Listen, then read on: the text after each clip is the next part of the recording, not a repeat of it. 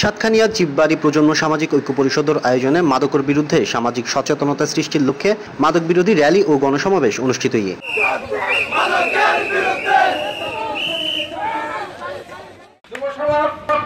হয়ে যাচ্ছেন। সরকারও উদ্বিগ্ন হয়ে পড়েছেন।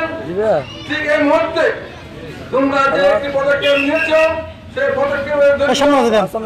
সমর্পিত বলে মনে করি। উনিশ জুন আজিনে চলযায় যুদ্ধে মাদকের বিরুদ্ধে এই স্লোগান লইনে আয়োজিত র্যালি ও গণসমাবেশত প্রধান অতিথি আছিল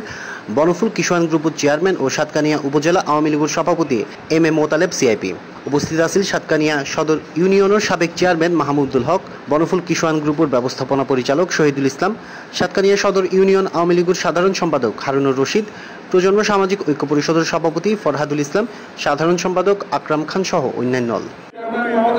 সহ আমার সামনে ডেক্স নিউজ সিপ্লাস টিভি